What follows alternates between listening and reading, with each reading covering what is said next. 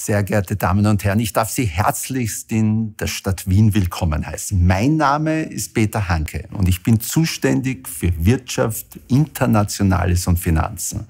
Und es ist großartig, Sie in dieser Stadt, die zehnmal zur lebenswertesten gekrönt wurde, willkommen zu heißen. Und ich lade Sie ein, Ihre Geschäfte mit uns in Wien zu machen.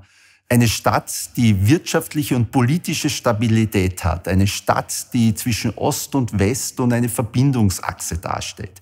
Eine Stadt, die wie keine andere für Kunst und Kultur steht. Und mit der Wirtschaftsagentur Wien einen starken Partner für jedes Wirtschaftsunternehmen aufweist. Wir informieren Sie gerne über all die Möglichkeiten, hier Ihr Business bestmöglich zu machen.